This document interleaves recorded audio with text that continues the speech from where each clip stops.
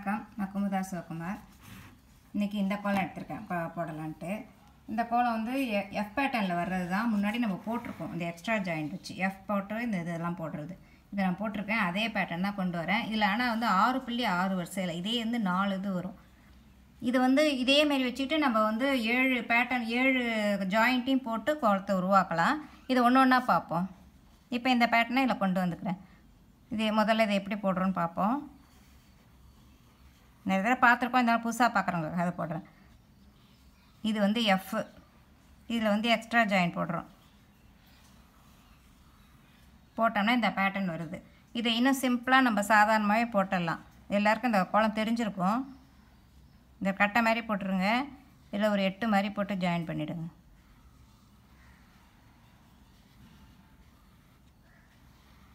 F போட்டு சைடில் போடுறதோட இது ரொம்ப சிம்பிளாக இருக்கும். இதில் வந்து நம்ம திருப்பி திருப்பி போட வேண்டாம். ஏன்னா பேட்டர்ன் வந்து சிமெட்ரியாக வரும் இது. இது ஒரே மாதிரி தான் எந்த பக்கம் திருப்பினாலும் ஒரே மாதிரி இருக்கும். அதனால் நம்ம வந்து ஒரே மாதிரியே போட்டே வந்தோம்னா ரொம்ப சிம்பிளாக இருக்கும் அது.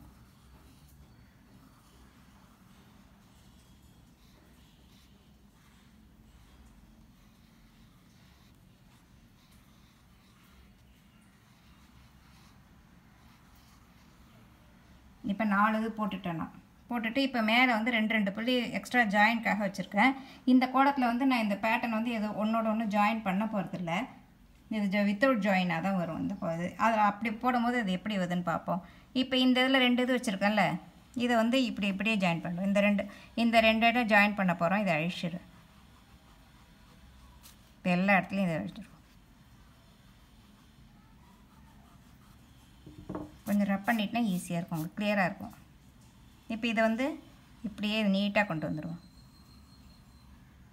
இந்த ஒரு புள்ளி வச்சிடலாம்.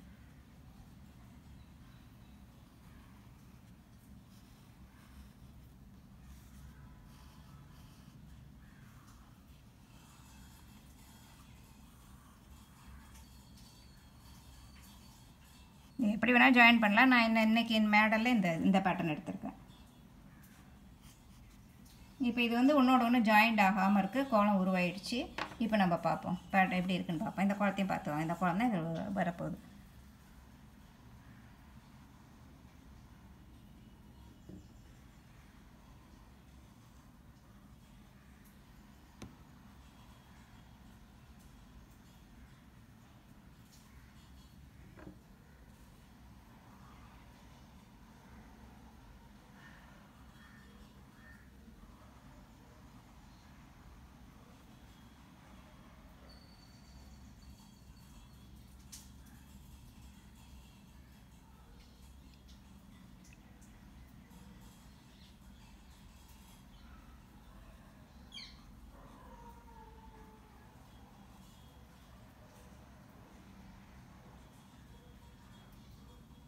கோலம் அழகான கோலம் சிம்பிளாக போட்டோம் பாருங்க.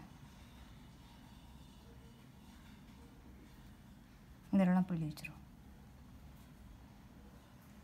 அவ்வளோதான் இது வந்து நீங்கள் வேறு மாதிரி கூட ஜாயின் பண்ணலாம். இது அடுத்த அடுத்தடுத்த கோலத்தில் பார்க்கும்போது வேறு ஜாயின்லாம் நான் சொல்லித்தரேன். இந்த கோலத்தை பார்த்துக்கோங்க. அவ்வளோதான் அடுத்த கிளாஸில் அடுத்த குளத்தோட பார்ப்போம். வணக்கம்.